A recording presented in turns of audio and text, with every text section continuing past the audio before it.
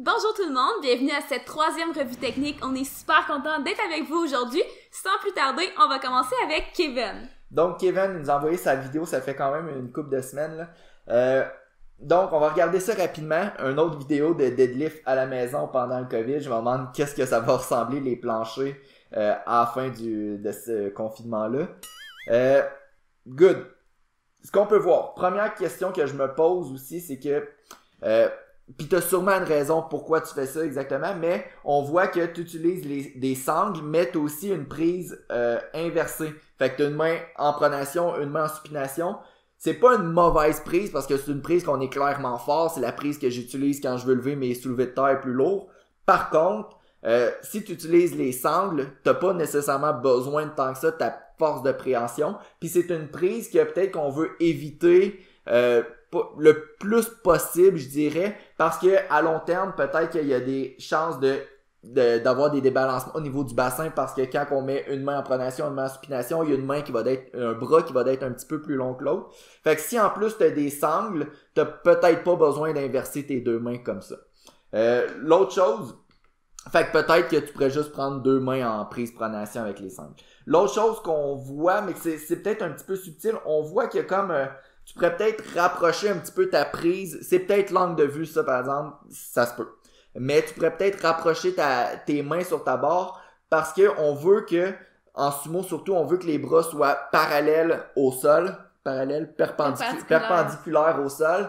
Euh, c'est ce qui va faire en sorte que ton amplitude de mouvement va être un petit peu réduite. Euh, si on regarde l'autre côté, ça semble bien. On voit que euh, quand la portion grippée là, commence, la portion plus rude de la on voit que ta main elle commence pas mal au même, en même place, mais sur l'autre côté, on voit que peut-être que tu pourrais rapprocher un petit peu. À voir, c'est peut-être l'angle de caméra. Non, c'est ça, parce qu'idéalement, on veut comme que l'épaule soit alignée avec le poignet. Puis là, de cet angle-là, on dirait que l'épaule est comme pas tout à fait directement au-dessus du poignet. Donc, c'est comme quelque chose qu'on vérifierait, mais encore une fois, c'est peut-être juste la prise de vue, mais on, prendrait quand même la peine de vérifier que tout est beau à ce niveau-là. Exact. Puis dernière chose qu'on peut regarder, c'est peut-être plus au niveau des grands dorsaux. On voit que quand tu lèves la barre, la barre, elle colle, elle décolle un petit peu, euh, surtout à ce niveau ici. Oups, j'ai manqué mon... Surtout quand la barre est ici. Donc, peut-être juste activer un petit peu plus les grands dorsaux, t'assurer que ta barre elle reste tout le temps collée vers toi puis c'est solide au maximum. Donc je pense que ça fait le tour Kevin. Euh, puis sur ça, on va passer à notre deuxième lever. On va passer avec André maintenant, donc je vais vous laisser regarder le lever. On va peut-être juste l'avancer un petit peu. on va vous passer les setups maintenant. Good. On est parti.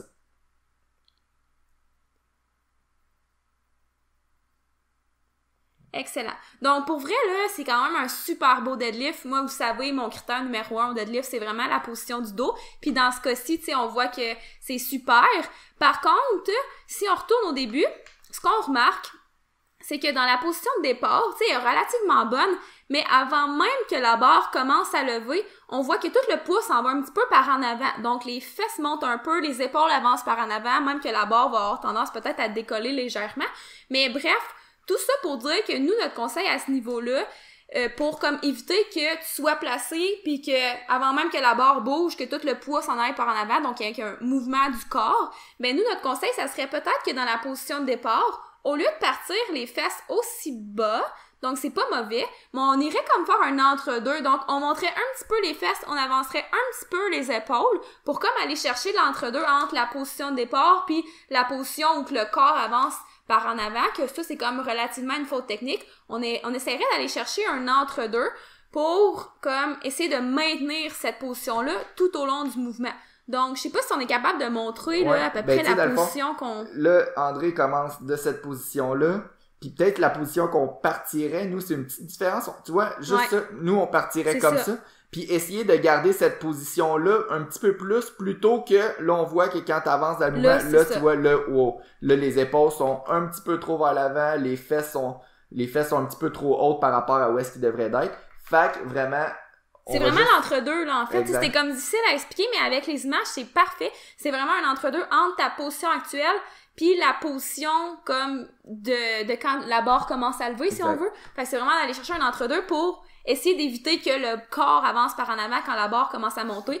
Donc, d'aller chercher l'entre-deux puis de maintenir cette position-là idéalement. Donc, de pas retourner à euh, la, la, la, position en avant. Parce que là, comme tu es là, une fois que la barre commence à décoller, il euh, n'y a pas une grande flexion au niveau du, du genou, mais il y a une grande flexion au niveau de la hanche. Fait que c'est beaucoup ta chaîne postérieure qui, qui aide au lever, mais ton quadriceps, qui est un puissant muscle, n'aide pas tant que ça en ce moment.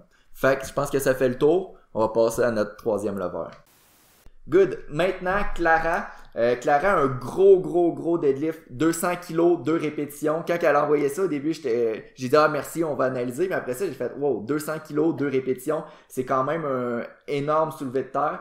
Euh, ce qui donne aussi que Clara est championne du monde sub-junior dans les 72 kg. Donc on va regarder ça. C'est pas un soulevé de terre qu'on voit normalement dans, les salles d'entraînement. C'est comme peu commun. Euh, donc on va regarder ça. 200 kg, deux répétitions. Puis c'est certain qu'à ce niveau-là, au niveau technique, je veux dire, les, bases sont acquis, même sont plus qu'acquis, sont maîtrisés. Euh, par contre, ce que Clara elle a dit aussi dans un de ses posts Instagram, c'est qu'elle avait mal dans le dos. Puis en regardant le, le, deadlift, ce qui saute, probablement au niveau technique, ce qui saute le plus aux yeux, parce qu'il n'y a pas grand chose, c'est un beau deadlift, c'est vraiment top class. Par contre, on voit un petit peu le, dos rond, puis particulièrement la, portion lombaire. Fait ce que ça pourrait dire, c'est peut-être, oui, une faiblesse au niveau du, corps, donc les abdominaux, les obliques, le dos, puis peut-être même les fessiers. Puis Clara, en regardant aussi ton squat, on s'est rendu compte que les genoux, en remontant, il avait tendance à rentrer vers l'intérieur quand même beaucoup. Fait ce qui pourrait être un indicateur que, oui, les fessiers, en travaillant les fessiers, euh, probablement ça pourrait aider beaucoup à ton deadlift. Euh, puis peut-être même aussi aider avec les problèmes de dos. Tu es encore jeune, c'est probablement quelque chose que je voudrais vraiment corriger, ça serait une priorité. Guéris ta blessure au dos, renforcer tes fessiers probablement, puis peut-être aussi à l'aide de ton entraîneur, tu pourrais te trouver vraiment c'est quoi est-ce que tu as aussi les abdominaux faibles, les obliques faibles, le bas du dos? Ça, ça pas nécessairement faible, mais des fois juste comme bien engagé là. Ouais.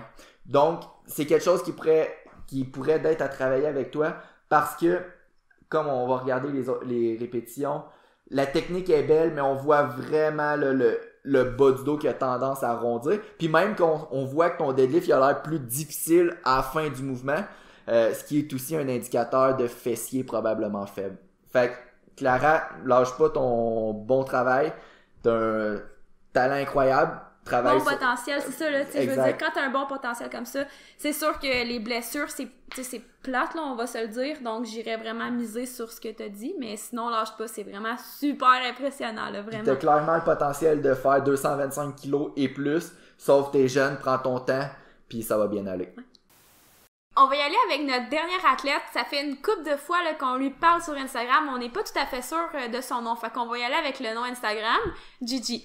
Donc, pour Gigi, on voit que le bench, euh, je sais pas si tu veux le remettre parce qu'en parlant, j'ai même pas regardé là. On voit que la descente là est vraiment super lente. Donc on est quand même allé le questionner à savoir s'il y avait une raison en particulier. Puis sa réponse fit quand même assez bien avec nous ce qu'on avait vu dans son bench press. Euh, lui, ce qu'il dit en fait, c'est que s'il descend plus vite que ça, il a tendance à écraser carrément la poitrine.